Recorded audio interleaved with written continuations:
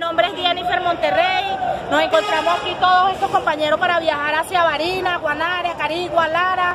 Este, tenemos casi una hora y media esperando carros, donde dicen este, los choferes y los colectores que no hay carro por el cierre de la frontera.